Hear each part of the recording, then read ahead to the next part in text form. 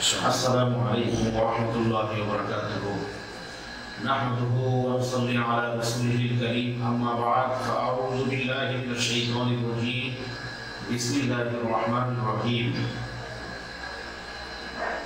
সুপ্রিয় দর্শক মণ্ডলী আল্লাহ সুবহানাহু ওয়া তাআলা সূরা আল বাকারার 183 নং আয়াতের মধ্যে বলেন ইয়া আইয়ুহাল্লাযীনা আমানু কুতিবা আলাইকুমুস সিয়াম কামা কুতিবা আলাল্লাযীনা মিন ক্বাবলিকুম লাআল্লাকুম তাত্তাকুন হে মুমিন বান্দাগণ, তোমাদের জন্য মুবারকের করা হয়েছে, যেমনিভাবে পূর্ববর্তীদের উপরেও ফরজ করা হয়েছিল।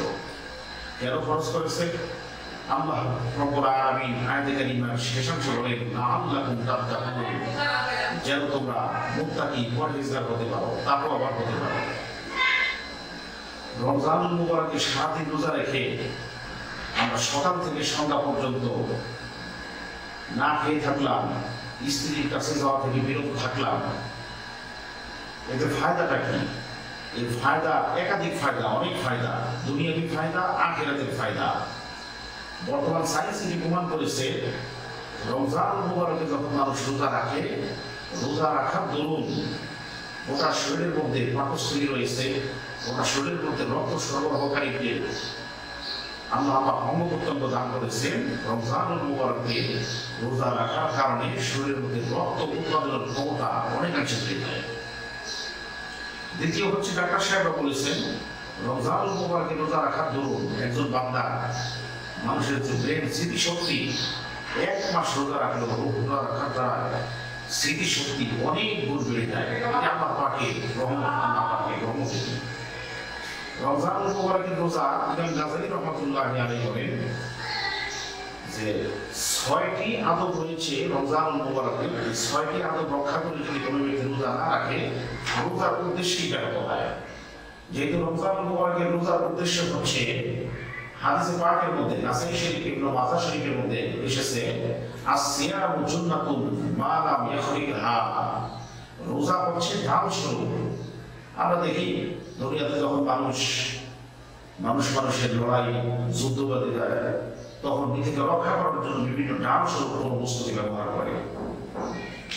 রসুল থেকে নিজেকে করার জন্য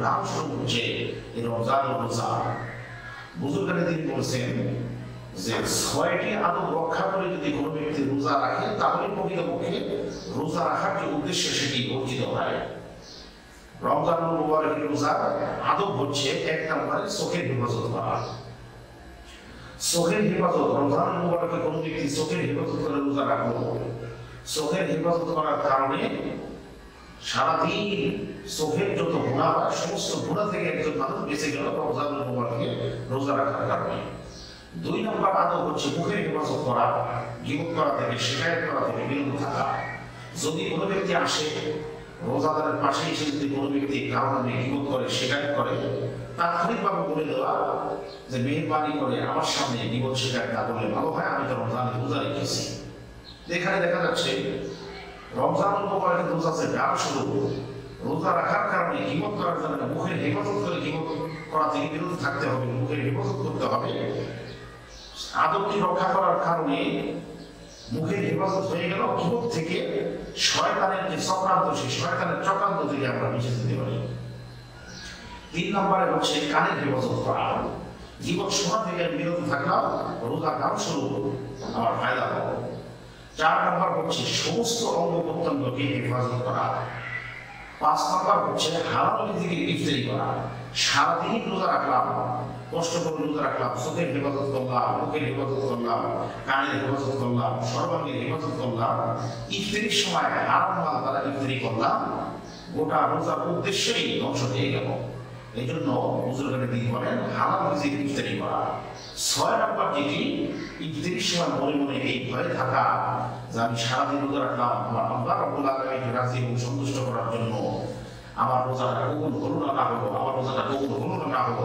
এই ভয়ে থাকা, এই ছয়টি আদব রক্ষা করে যদি আমরা রোজা রাখতে পারি, তাহলে ইনশাআল্লাহ আল্লাহ সুবহানাহু ওয়া তাআলার দরবারে রমজান মুবারকের যে ফজিলত আমরা শুনেছি রাসূল করিম সাল্লাল্লাহু হাদিসে পাকের মধ্যে রমজান মুবারকের রোজাদারের জন্য যে ফজিলত রাসূল করিম সাল্লাম বর্ণনা করেছেন, সেগুলো আমরা অর্জন করতে পারব এবং আমরা দুনিয়া এবং আখিরাতে রমজান মুবারকের সহজ বর্গ সহজ উপকার, সেগুলো আমরা অর্জন করতে পারব। আল্লাহ রাব্বুল আলামিন আমাদেরকে তৌফিক দান করুন। আখির দাওয়ানা আলহামদুলিল্লাহি, রাব্বিল আলামিন। সাবস্ক্রাইব বাটনে ক্লিক করুন এবং বেল বাটনে ক্লিক করুন যেন পরবর্তী ভিডিওগুলো পেতে পারেন।